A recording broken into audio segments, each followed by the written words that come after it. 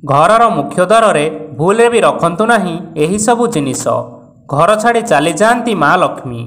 ବନ୍ଧୁଗଣ ଆଜି ଆମେ ଆପଣମାନଙ୍କୁ କହିବୁ ଯେ ଘରର ମୁଖ୍ୟ ଦ୍ୱାରରେ କେଉଁ ଜିନିଷ ସବୁ ରଖିବା ଦ୍ୱାରା ମା ଲକ୍ଷ୍ମୀ ଅଶାନ୍ତି ହୁଅନ୍ତି ଓ ସେହି ଘରକୁ କେବେ ହେଲେ ପ୍ରବେଶ କରନ୍ତି ନାହିଁ। ଯାହାଫଳରେ ସେହି ଘରେ ସର୍ବଦା ଧନର ଅଭାବ ଦେଖିବାକୁ ମିଳେ ଓ ସେହି ଘରର ଲୋକମାନେ ସର୍ବଦା ଦୁଃଖୀ ରହିଥାନ୍ତି। ସେହି ଘରେ ସମସ୍ୟା କମ୍ ହେବା ପରିବର୍ତ୍ତେ ବଢ଼ି ବଢ଼ି ଚାଲେ। ତେବେ ଘରେ ସୁଖ ସମୃଦ୍ଧି ଓ ସକାରାତ୍ମକତା ବୃଦ୍ଧି କରିବା ପାଇଁ ଘରର ମୁଖ୍ୟ ଦ୍ୱାରରେ କେଉଁ ସବୁ ଜିନିଷ ରଖିବେ ନାହିଁ ଆଜି ଆମେ ଆପଣମାନଙ୍କୁ ଏହି ଭିଡ଼ିଓ ମାଧ୍ୟମରେ କହିବୁ। ସେଥିପାଇଁ ଭିଡ଼ିଓକୁ ଗୋଟିଏ ଲାଇକ୍ କରିନିଅନ୍ତୁ ଏବଂ ଯଦି ଆପଣମାନେ ଆମ ଚ୍ୟାନେଲକୁ ଏପର୍ଯ୍ୟନ୍ତ ସବସ୍କ୍ରାଇବ୍ କରିନାହାନ୍ତି ତାହେଲେ ବର୍ତ୍ତମାନ ହିଁ ସବସ୍କ୍ରାଇବ୍ କରିନିଅନ୍ତୁ ତେବେ ଆସନ୍ତୁ ଜାଣିନେବା। ଘରର ମୁଖ୍ୟ ଦ୍ୱାରର ବାସ୍ତୁ ଉପରେ ଯଥେଷ୍ଟ ଧ୍ୟାନ ଦେବା ଉଚିତ। ଘରର ମୁଖ୍ୟ ଦ୍ୱାରକୁ ଏପରି ରଖିବା ଉଚିତ ଯାହାଦ୍ୱାରା ଆପଣଙ୍କୁ ଘରର ସୁଖ ଶାନ୍ତିର ଆଗମନ ହେବ ଓ ସକାରାତ୍ମକ ଉର୍ଜା ମଧ୍ୟ ପ୍ରବେଶ କରିବ।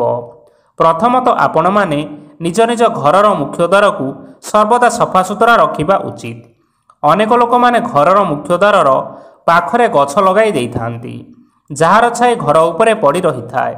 ଏହା ସହ ଘରର ମୁଖ୍ୟ ଦ୍ୱାରରେ ଜୋତା ଓ ଚପଲ ଆଦି ରଖିଦିଅନ୍ତି ଓ କିଛି ଲୋକ ଘରର ମୁଖ୍ୟ ଦ୍ୱାର ପାଖରେ ଡଷ୍ଟବିନ୍ ମଧ୍ୟ ରଖିଥାନ୍ତି।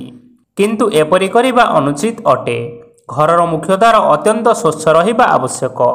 ଘରର ମୁଖ୍ୟ ଦ୍ୱାର ପାଖରେ ଆପଣମାନେ ରଙ୍ଗୋଲି ବନାନ୍ତୁ ଓ ଶୁଭ ଲାଭ ନିଶ୍ଚୟ ଲେଖନ୍ତୁ। ପ୍ରତ୍ୟେକ ଦିନ ସ୍ନାନ କରିବା ପରେ ଘରର ମୁଖ୍ୟ ଦ୍ୱାର ଉପରେ ଟିକିଏ ଗଙ୍ଗାଜଳ ଛିଞ୍ଚି ଦିଅନ୍ତୁ। ଏହାଦ୍ୱାରା ମାତା ଲକ୍ଷ୍ମୀ ଆପଣଙ୍କ ଘର ଆଡ଼କୁ ଆକର୍ଷିତ ହେବେ ଓ ଆପଣଙ୍କ ଘରେ ବାସ କରିବେ। ଆପଣ ଯଦି ଘରର ମୁଖ୍ୟ ଦ୍ୱାର ପାଖରେ ଜୋତା ବା ଚପଲ ଷ୍ଟାଣ୍ଡ ରଖିଛନ୍ତି ତେବେ ତାକୁ ସର୍ବଦା ଘୋଡ଼ାଇ କରି ରଖନ୍ତୁ। ଘରର ମୁଖ୍ୟ ଦ୍ୱାର ଉପରେ ଆମ୍ବ ଡାଳର ପତ୍ରରେ ହାର ଏବଂ ଫୁଲମାଳା ଦ୍ୱାରା ସଜାନ୍ତୁ। ଏପରି କରିବା ଦ୍ୱାରା ସକାରାତ୍ମକ ଉର୍ଜା ଆପଣଙ୍କ ଘର ଆଡ଼କୁ ଆକର୍ଷିତ ହୋଇ ଆସନ୍ତି। ସବୁଠୁ ମହତ୍ତ୍ୱପୂର୍ଣ୍ଣ କଥା ହେଉଛି ଘରର ମୁଖ୍ୟ ଦ୍ୱାରକୁ କେବେ ବି ମଧ୍ୟ ଅନ୍ଧାର ରହିବାକୁ ଦିଅନ୍ତୁ ନାହିଁ। ଏହାଦ୍ୱାରା ନକାରାତ୍ମକ ଉର୍ଜା ଗୁଡ଼ିକ ଆପଣଙ୍କ ଘରକୁ ଆକର୍ଷିତ ହୋଇଥାନ୍ତି। ଘରର ମୁଖ୍ୟ ଦ୍ୱାରକୁ ସର୍ବଦା ଆଲୋକିତ କରି ରଖନ୍ତୁ ଓ ସେଠାରେ ଦୀପ ମଧ୍ୟ ଜଳାନ୍ତୁ। ଘରର ମୁଖ୍ୟ ଦ୍ୱାରରେ ଭଗବାନ ଗଣେଶଙ୍କର ଫଟୋ ମାତା ଲକ୍ଷ୍ମୀଙ୍କର ଫଟୋ କିମ୍ବା ଚରଣ ପାଦୁକା ଲଗାଇବା ମଧ୍ୟ ଅତ୍ୟନ୍ତ ଶୁଭ ଓ ଫଳଦାୟକ ହୋଇଥାଏ।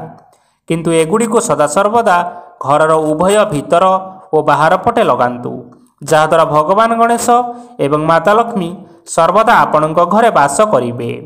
ତେବେ ବନ୍ଧୁ କ'ଣ ଆପଣମାନେ ଘରର ମୁଖ୍ୟ ଦ୍ୱାରର ଏହିସବୁ ଜିନିଷ ପ୍ରତି ଧ୍ୟାନ ଦିଅନ୍ତୁ। ଦେଖିବେ ମାତା ଲକ୍ଷ୍ମୀଙ୍କ କୃପାରୁ ଆପଣଙ୍କ ଘରକୁ ସବୁବେଳେ ସକାରାତ୍ମକ ଉର୍ଜା ପ୍ରବେଶ କରିବ। ଆଶା କରୁଛୁ ଏହି ଭିଡ଼ିଓଟି ଆପଣମାନଙ୍କର ପସନ୍ଦ ଆସିଥିବ।